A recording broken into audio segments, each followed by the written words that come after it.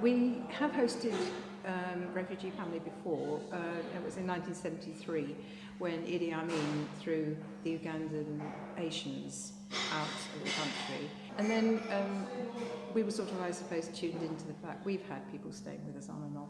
We've had overseas students living with us. We've had English students living with us. Um, we've always been lucky to have had a spare room. Um, and our present house, we've got, um, it's a family house, and the family's left home. so it seems a good idea, again, to put the rooms to use.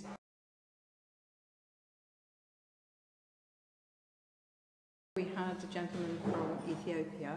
We had a lovely Iranian lady. She, she lived with us, and while, we, while she was with us, we learned that her husband and son um, wanted to join her. They had, they had to have a, a permanent address, a regular address, but we, we could use ours because ours is permanent and it's regular. We've been there for donkey's years, so um, they were able to come and join her, and now they happily settle independently in their own home in Derby.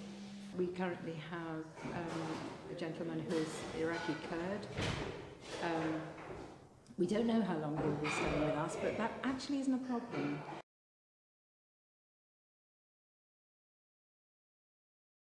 Um, my husband and I are both very much in this together. I might be the one doing the talking now, but absolutely both in, in it together. And one of the things is you do not ask your guests what their background is.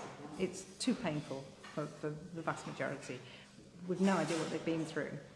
Um, but our lo lovely Iranian lady um, and her family came over. They, they actually all stayed with us for about three weeks until their accommodation was sorted. So we got to know all three of them very well. And we've been round to their new flat and, and we're still in touch with them. And we'll meet them at the Advice Centre, Refugee Advice Centre. I would say it's been revolutionary in our lives. And that's a, I use that word as a plus. It has opened up huge new um, areas that we didn't know about. Um, I've met refugees, I've met asylum seekers, I've heard some horrific stories. That has hugely opened my horizons. And I've met some absolutely wonderful people.